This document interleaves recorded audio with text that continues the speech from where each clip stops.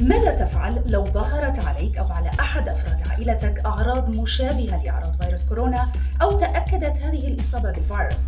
طبعا لكل دولة إجراءات وتعليمات خاصة فيها في التعامل مع هكذا سيناريو ولكن أغلبها يبدأ بالاتصال بالخط الساخن المخصص من قبل وزارة الصحة والتحدث مع أحد المتخصصين لذا من الضروري جدا أن تسجل هذا الرقم لديك إذا كنت تعيش في إحدى الدول التي تنصح مواطنيها بعدم التوجه إلى المستشفى حتى لو تأكدت إصابتك أو أي أحد من عائلتك إلا في حال اشتداد الأعراض وضيق التنفس فماذا عليك أن تفعل؟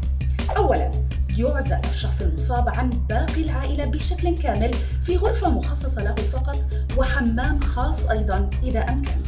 ثانيا يجب عدم مشاركة المصاب لباقي أفراد العائلة في أي أدوات منزلية ويجب التعامل بحذر شديد مع أي أدوات يستخدمها وتطهر بعيدا عن أي أدوات أخرى.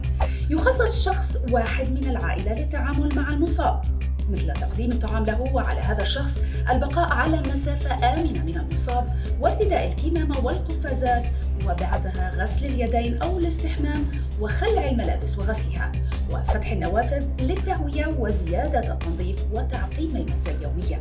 أما بالنسبة للمريض فعليه الراحة والإكثار من شرب السوائل العصائر والحساء والماء طبعا. أما الأدوية وبما أنه لا يوجد علاج لهذا الفيروس فمخفضات الحرارة وأدوية الرشح العادية مفيدة في هذه الحالة مع الابتعاد عن مضادات الالتهاب لأنها تخفض المناعة. يجب الاتصال بمن خالطوا المريض في فترة ظهور الأعراض وقبل ظهور الأعراض بأسبوعين لإعلامهم بالإصابة. وأخيرا على المريض التوجه إلى الطوارئ أو الاتصال بالجهات المختصة إذا شعر بضيق تنفس شديد ومستمر وازدادت أعراضه بشكل كبير. منازلكم ودمتم بصحة وسلام